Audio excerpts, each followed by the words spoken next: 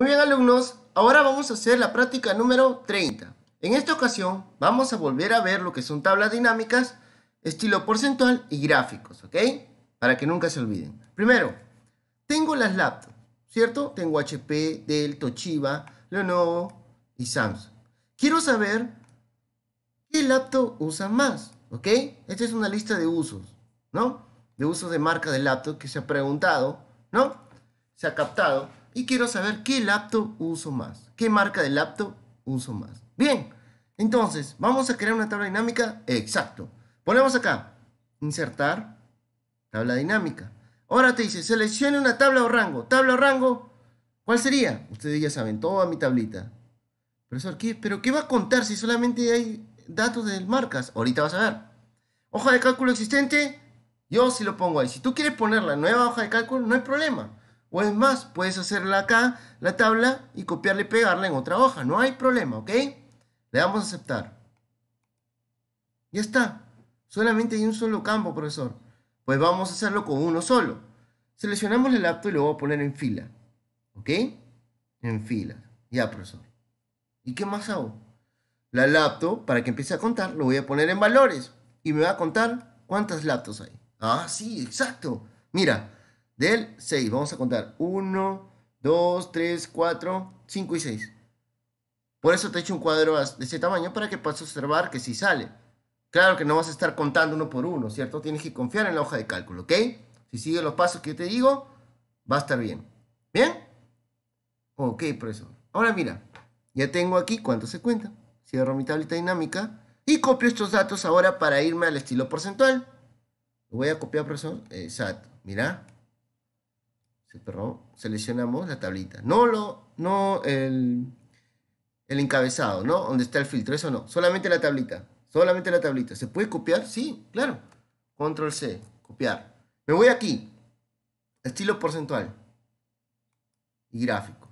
Y aquí le voy a poner Control V pegar. Ok, profesor, ¿se pegó? Se pegó. ¿Está bien? Sí. Ahora, ¿cómo puedo sacar para poder ver en porcentaje de qué laptop se usa más. Entonces, ya sabemos nosotros hasta por gusto cómo sacar estilo porcentual de forma rápida, ¿no? ¿Cómo era, alumnos? Era igual el primer total slash entre la suma de los totales, ¿ok? Entre la suma de los totales. ¿Qué vamos a hacer ahí, profesor? Para que el primer total divida con la suma de los totales, ¿qué tengo que poner? F4, profesor. Exacto, F4. ¿No? Si no te funciona con F4, ponle la tecla Fn y F4. Automáticamente se fija. Exacto, profesor. Lo hemos fijado. Le damos Enter, ¿ok? Listo. Esto está en números decimales. Desplegamos. Y después que seamos, poníamos en estilo porcentual. ¿Recuerdan? Estilo porcentual. Aquí podemos verlo. Un momento, vamos a abrir para que puedan observar. Voy a pegar la imagen. Aquí, a ver. Vamos a estilo porcentual. Ya está.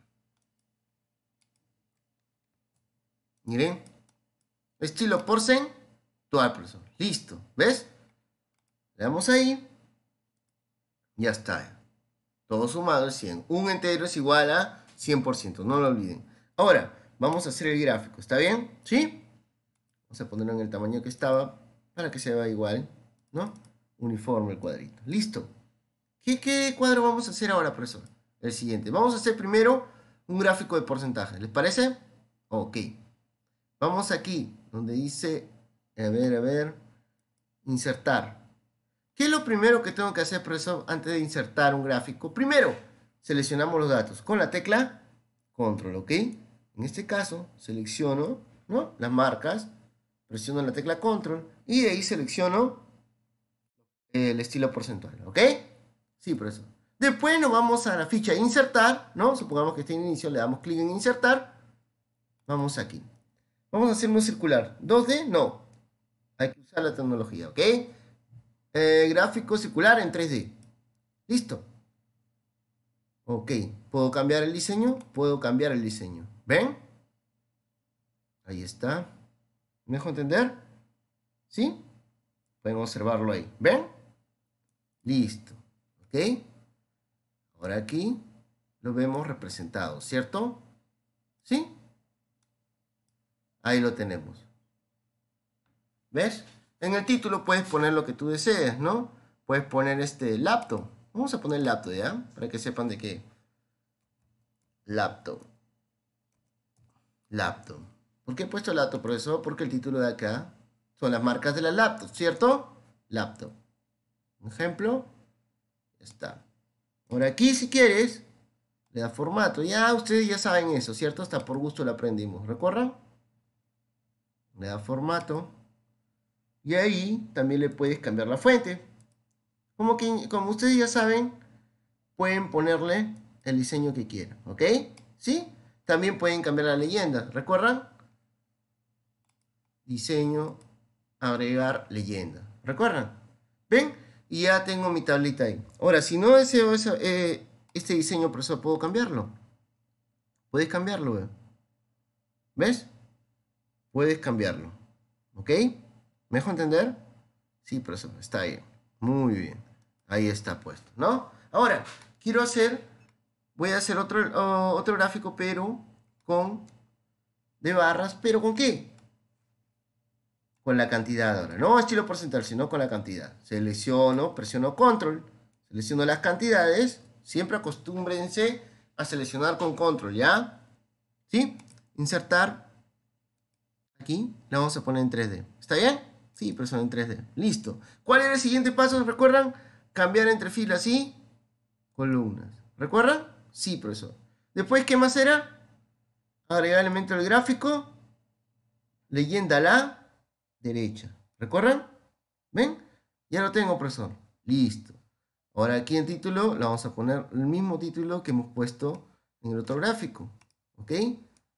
Laptop. laptop, le doy en formato.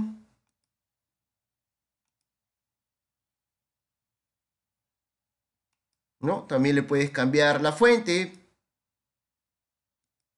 Y ya lo tienen, ¿ven? Ahí está justo la marca que tú deseas. ¿Ok? ¿Sí? ¿Ves? Puedes cambiar el diseño. Si te gusta, ¿no? Puedes observar. ¿Ves? Y si quieres una mejor, un mejor diseño, te vas a donde era PowerPoint. Ya saben cómo hacerlo, copiar y pegar, ¿ok? ¿Ven? Ya tengo mis dos gráficos. Tengo el laptop circular en 3D y en barra. ¿Me dejo entender? ¿Ven? Sencillo y facilito, ¿ok? Bien, espero que me hayan entendido la práctica número 30. ¿Está bien?